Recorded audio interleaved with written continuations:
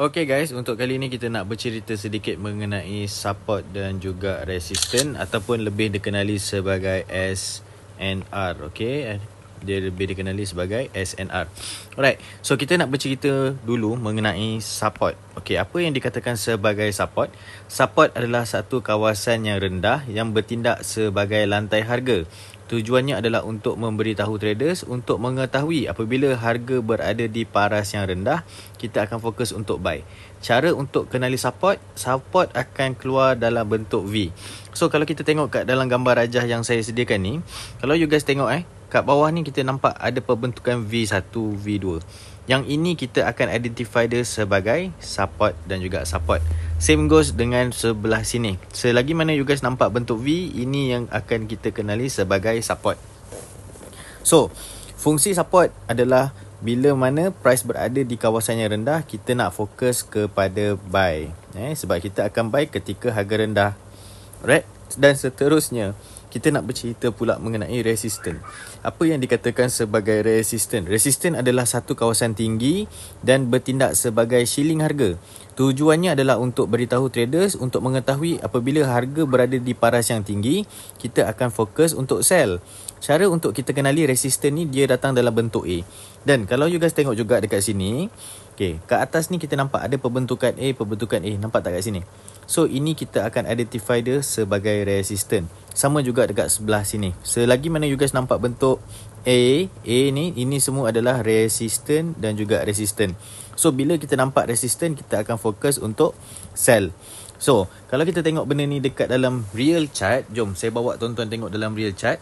Kalau kita perhatikan dekat sini, nampak tak? Bila kita buka real chart, you guys akan identify there is a lot of bentuk A dan juga bentuk V. Okay, sebagai contoh, nampak tak dekat bawah ni kita ada bentuk apa? Bawah ni kita ada support and then lagi ada apa? Bawah sini pun kita ada support, nampak tak? kedua-duanya datang dalam bentuk V. So bila bentuk V kita nak fokus untuk apa? Kita fokus untuk buy. Ha, itu kalau kita jumpa support. Berbeza pula kalau kita jumpa resistance. Resistance datang dalam bentuk A. So kita kena cari mana bahagian yang ada bentuk A. Kat sini kita nampak ada bentuk A, ada bentuk A, ada bentuk A betul. So ketiga-tiga ini kita akan kenali dia sebagai resistance. So bila adanya resistance kita akan berfokus untuk sell. Konsep buy dan juga sell very simple guys. Okay, konsep buy dan juga sell apabila harga rendah, okay. Apabila harga rendah, kita akan fokus untuk buy. Sebab kita nak dapatkan harga yang tinggi betul. So kita akan buy di bawah, take profit kita kat atas.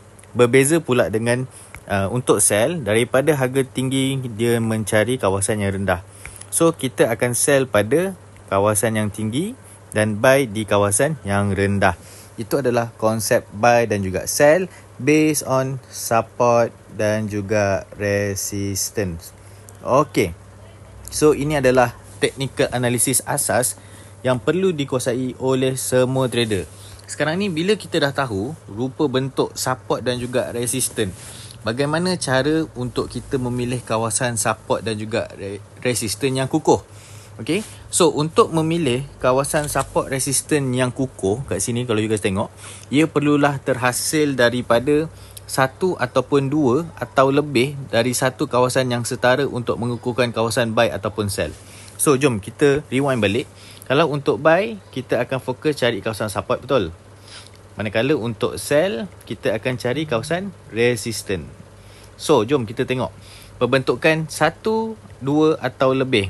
Untuk menjadikan satu-satu kawasan ni valid untuk kita buy ataupun kita sell, mesti ada satu atau dua atau tiga ataupun berapa banyak yang dia boleh buat pada satu level yang sama.